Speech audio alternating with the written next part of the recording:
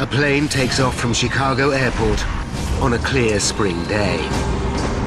As the wheels leave the runway, Damn. it loses power from one of its engines. Suddenly, it rolls to the left. Seconds later, the aircraft hits the ground and disintegrates, smashing into a trailer park. 273 people are dead.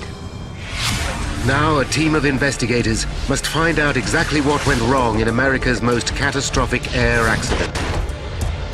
What they discover will uncover fatal shortcomings in the American aviation business and change the industry forever.